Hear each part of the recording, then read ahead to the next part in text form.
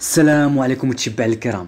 تشيلسي قدمت عرض إعجازي وفلكي لنجم إنتر ميلانو وصديق أشرف حكيمي السابق روميلو لوكاكو بحيث أن المبلغ يقدر ب 130 مليون يورو بحيث أنه عرض مغري للغاية حقا مدرب الانتر ميلانو السابق. كونتي كان قد اعلنها المخضرم كونتي في سنتين اعاد الإنتر للواجهه من جديد وقام ببناء مشروع رائع بداية من التعاقد مع لوكاكو وحكيمي. لكن بعد أزمة ملاك النادي الصينيين. كونتي في اجتماعه الأخير طلب من الإدارة الإبقاء عن أساسيات الفريق والمشروع الذي تم بناؤه.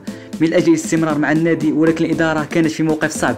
لذلك رحل كونتي وكانت البوادر واضحة من رحيل كونتي.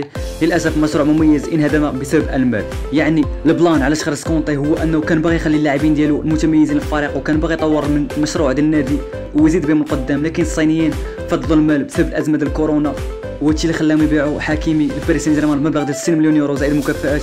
ودابا حاليا في مراحل متقدمة من بيع لوكاكو لتشيلسي وبالتالي ما بقى غير لوتارو مارتينيز وباريلا اللي الفريق والنجوم ديالو. حيت ان الانتر غادا نحو الهاوية بعد ما توجات باللقب وقلنا صافي غترجع للمكان ديالها. لكن حاليا غادا كتضحي باللاعبين المميزين وبالتالي الانتر غترجع كما كانت. في آخر سبع سنوات غترجع تنقص في الأداء ديالها بسبب هذه السياسة.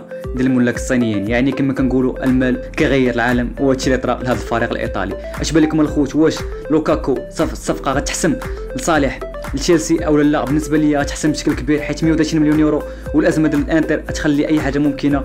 وبالتالي لوكاكو يقدر يلعب مع زياش اللي هو ما ضامنش المكان ديالو في تشيلسي وبغى ميلان. يعني الخوت هذا الميركاتو مخربق ديال بصح حكيمي كان مع لوكاكو شوية حكيمي مشى.